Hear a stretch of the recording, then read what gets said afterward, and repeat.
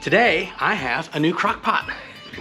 And you think, well, what's Jim got a new crock pot for? What kind of turkey recipe is he gonna do? However, this is not going to be a turkey recipe because you see the hydrogen peroxide back there? Well, we got ourselves a beaver skull. So I've cut this skull off and uh, you can see that I'm bringing it outside because I do uh, love my wife and would like to preserve my marriage. And you will also see that this is a new crock pot, which means that I got it on sale at like uh, one of the retail places. And um, I'm planning on uh, just using this for skulls. Now the good news is, is that I've got a specific skull type piece of gear now. And uh, I'm gonna take you through boiling the uh, skull and bleaching it. That's what we got the peroxide for. So we got 3% hydrogen peroxide for a buck 80. It's like uh, one of the pharmacies around here. And then uh, we're gonna get this crock pot out, take it outside, and I'm gonna show you how to fix and uh, make a beaver skull absolutely stunning.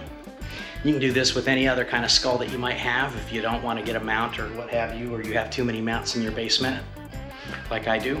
And uh, so yeah, let's get started.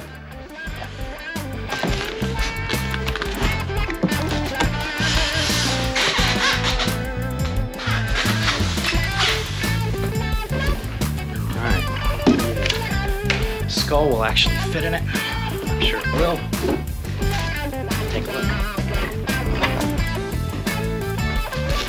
Oh yeah, nicely. Now this skull I actually just took out of the freezer, so I'm gonna actually leave it in the crock pot for several hours, but um, probably about five or six hours. But the thing that the crock pot does, is you keep it on a low simmer, you don't ever boil it, and then you can take all the meat off and it's really easily done. Don't even need a pressure washer for this, so let's get started on this thing.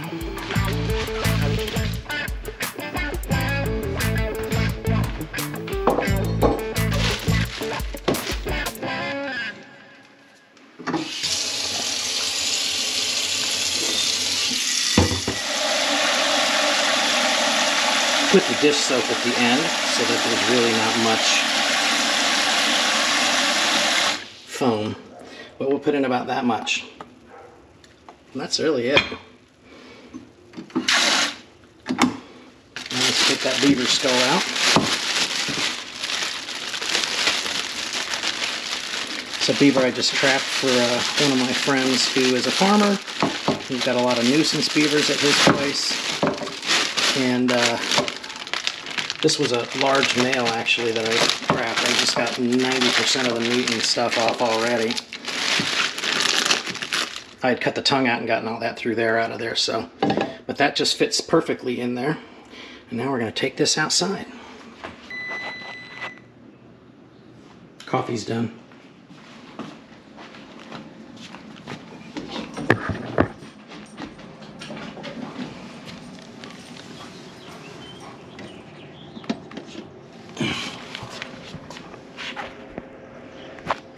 You're gonna see, we're gonna turn it on low, and we are just gonna leave this. Let's get that new lid.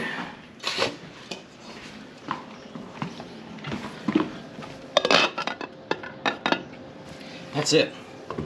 We're gonna do nothing for the next five to six hours. Oops, forgot the borax. All right, we need to go get just a of borax, and what that'll do is that'll melt off all that fat. Yes, my dear. My dear. There's a beaver. Right you here. Studio back there.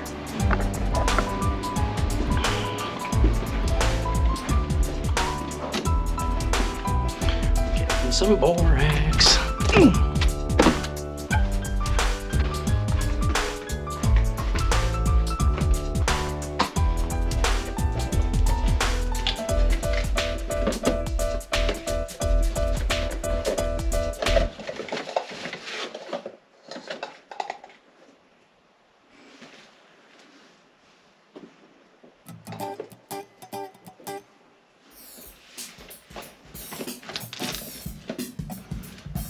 Got some borax? We're gonna put that in there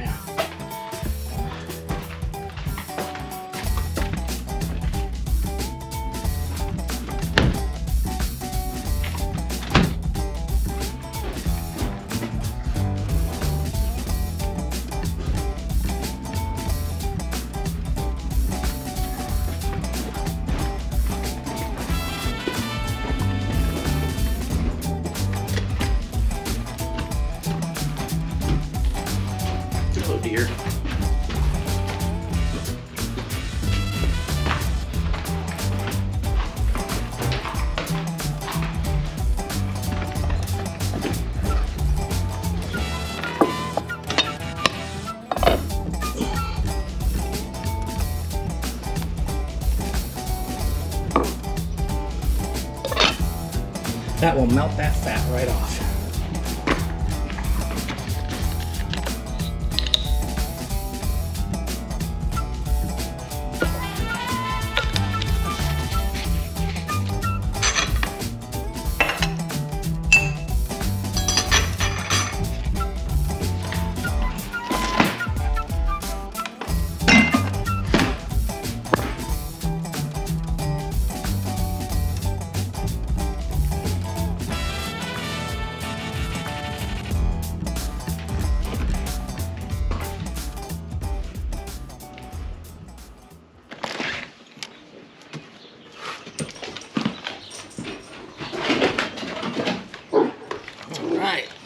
At this. It's now uh, about six o'clock. Let's see if this is all coming off the bone yet. Oh yeah, that's ready to strip off. Whoops. Maybe it is. Yeah, we're gonna find out if that's ready to get some of that meat off of that bone. Let's pull it out. It's-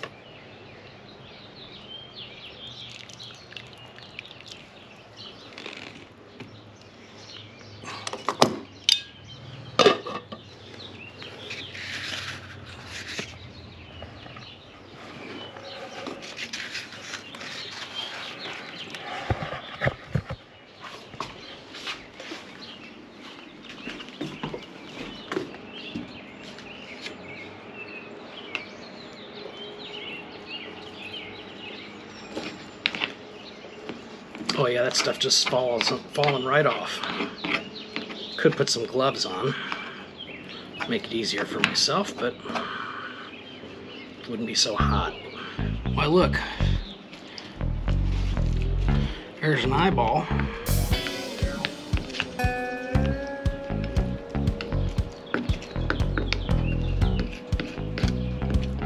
Probably should put some gloves on.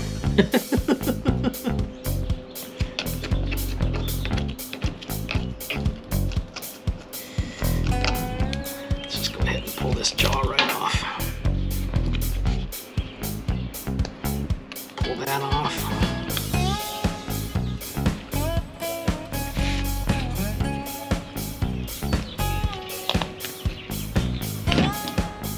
Lots of meat in here.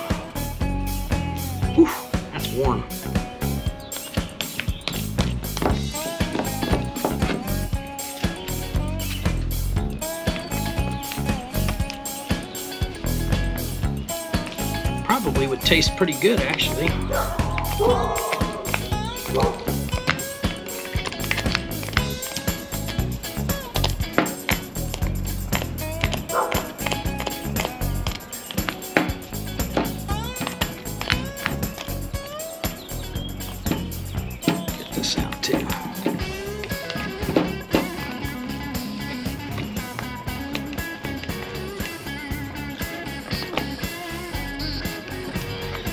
I'm not going to bore you with this tedious getting the meat off process, but as you can see, it's coming off quite easily, not unlike a roast. And uh, I might pull the pressure washer out, I might not. But uh,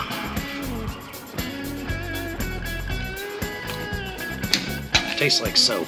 Ugh. Probably won't be uh, eating much of that but it is pretty warm at the moment, so I'm gonna probably grab some gloves and start pulling it off. I just pulled this little piece of bone off here and uh, I want to get all this crust out and the uh, septum and all that stuff. I'm gonna get everything clear out of there and I may keep all that off of there anyway.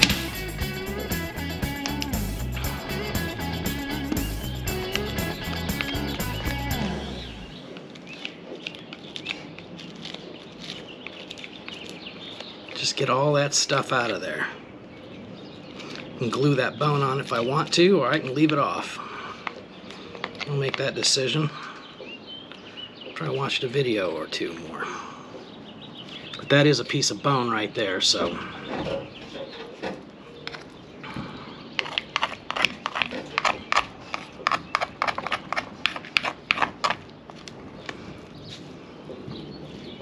I want to get all of this out of here. Probably get the back of the head off, or the, uh, where I cut the skull. That's ears right there. One thing to point out is uh, I pulled these apart uh, because they're connected with cartilage. Uh, so I pulled these, uh, the bottom jaw apart. I'm going to go rinse this off in the sink really well and then rinse this bone off as well. But this is the meat that I've gotten off so far and uh, I've still got some to go. I went ahead and put the other part of the skull into the um, uh, crock pot again. So we'll just uh, keep moving. That's what we're gonna do. I'll show you what I've done so far. We've got the most of the meat gone. And um, I've went ahead and there's this one bone here um, for the uh, septum and I'll have to pull that off with some tweezers and stuff. So, and then this is the uh, the bottom jaw. So I'm going to get that. And what you do after you're all done getting everything all cleaned up is uh, super glue these back together. But uh, look at those cutters, man. That's just unbelievable how how uh, strong those teeth are. They're razor sharp too. Um, you know, as you all know, beavers have to chew in order to uh, keep their teeth grow, and they grow all the time. Otherwise, they'd uh, grow right into their heads. So that's the uh, extent of it right now. I'll uh, get the rest of that pulled out, and then we'll uh, keep moving.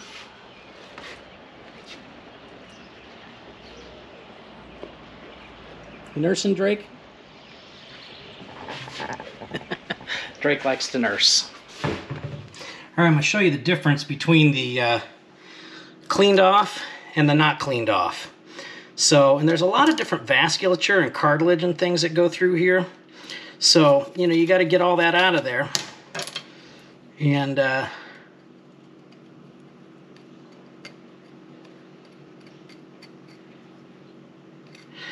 you know, vasculature that went through here and, uh, some cartilage up here. So still got a little bit of cleaning to do and then we'll get it into the uh, next part of the bath.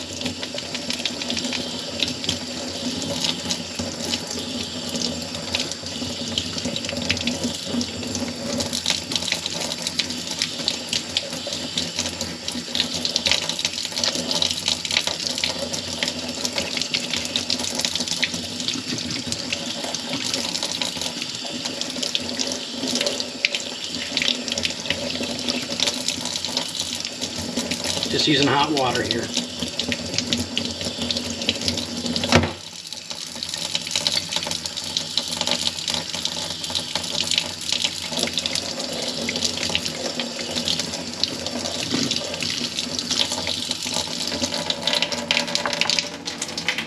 So right here, these are bones that are cleaned and ready to go in for whitening. I'm gonna get the rest of that skull cleaned up now.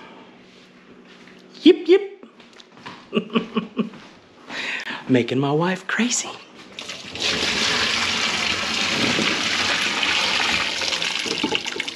I'm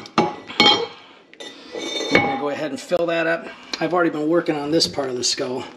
You can see how much stuff I've gotten off already. So I got to just get all the cartilage and the stuff out the back and make sure that that uh, brain case is all cleared out. So that will be my next item to do. And meantime, we'll clean this out. And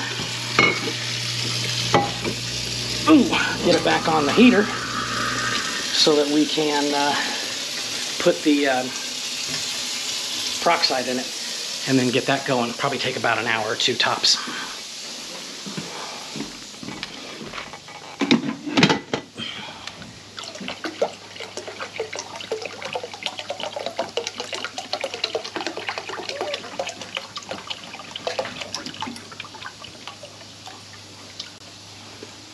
I'm gonna put it on high for about an hour. That way that'll get it really rolling.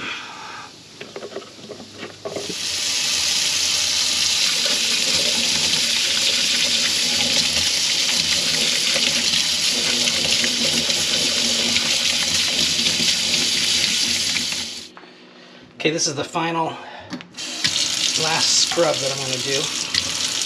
Just make sure everything's as good as it can get.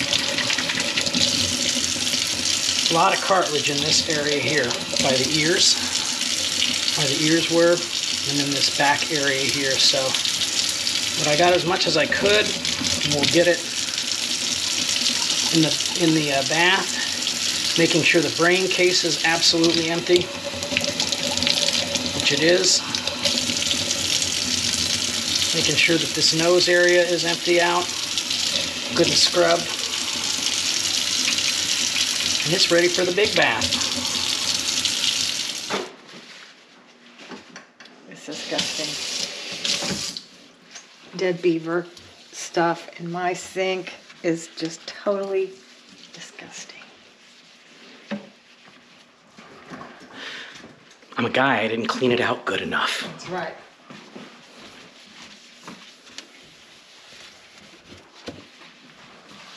But I have my own crock pot now.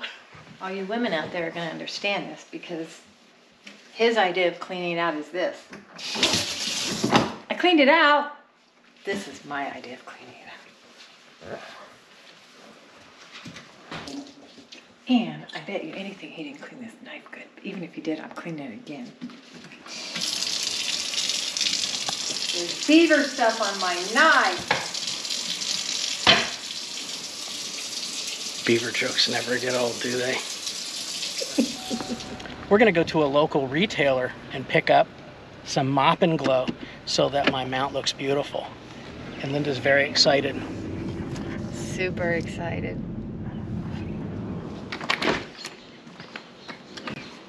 I am gonna bet this is done. Let's take a peek here. Yep.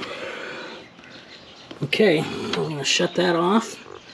I'm gonna get in there. It's a little warm, but not horrible. Look at that, that's so cool. Even the back teeth are clean. Wow.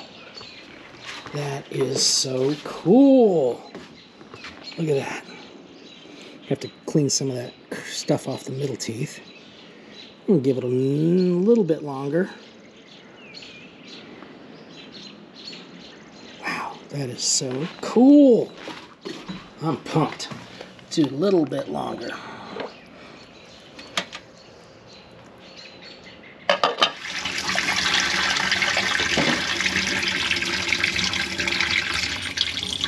That's all hydrogen peroxide, so won't have to sterilize the sink again.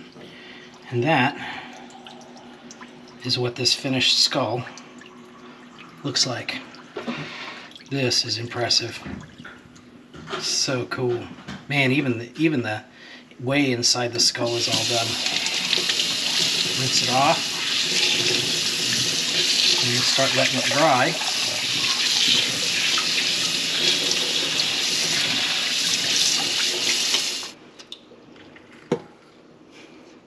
We'll mop and glow this tomorrow. Now we're going to super glue. And uh, the one thing I want to make sure of is I've got some zip kicker here, and I've actually just got some boning uh, glue that I used to use when I was uh, making my arrows, but I got Ranch Fairy making my arrows now, so I got the best of all worlds. But anyway, back to the beaver skull. Um, got to make sure you don't get any um, super glue on the bone itself because it'll uh, it'll scar it up and make it nasty looking. So we're gonna be real careful here and get started.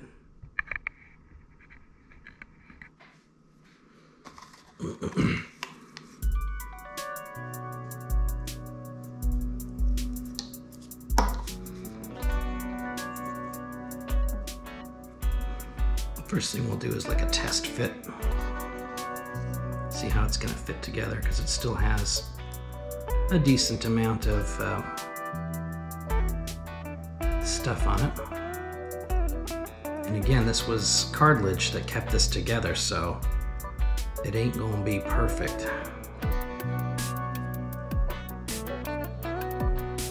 But that's what it's gonna look like.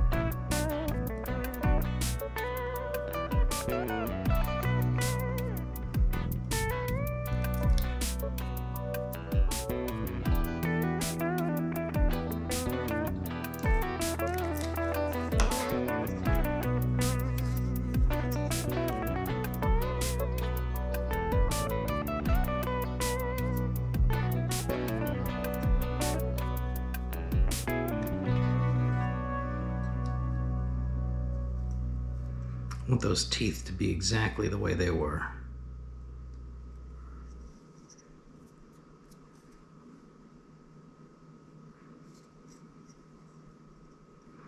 And this isn't gonna just, you know, stick because the cartilage uh, was what held it together.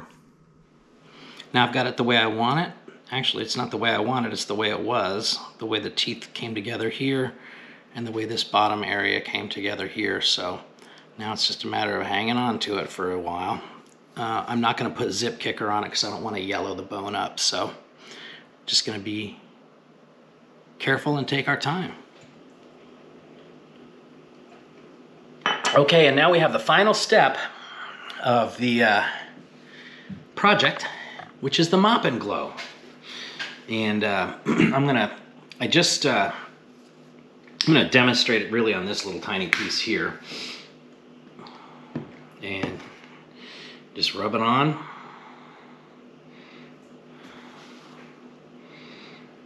Get it on both sides. Just preserves, protects, gets rid of that uh, what smell there is. Actually, there wasn't much smell in the um, brain case, which was where I was concerned about, to be honest with you, but it's perfectly fine. I'm going to use that for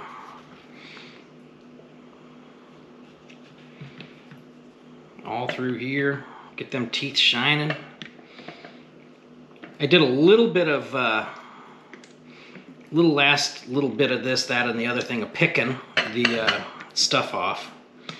And, um, and I just use my hands and just kind of spread it around, put it in the nose. Smells citrusy. Isn't that nice? Ooh, look at that shiny teeth. And just kind of get it all over the place and But I got off a little bit more cartilage and stuff like that that was in the back here. Get these teeth done. Really amazing. I, I think the my favorite part of this whole project was the anatomy, where the nerves came through and the vasculature came through and understanding a little bit more about the skull itself, these little chambers here where the ears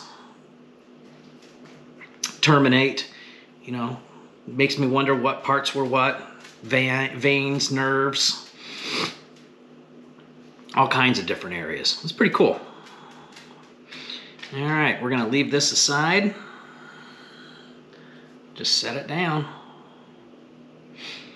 I'm gonna go ahead and just be gentle with this part because I've already got that super glued. And it looks like it's drying, but I don't really feel like uh, pushing it at this point. But I sure like them shiny teeth. Starting to feel like Bob Ross here. Happy little teeth. Happy little jawbone. Get that bone preserved. That'll keep it white. That's what the Mop & Glo does. Keeps it white and protects it.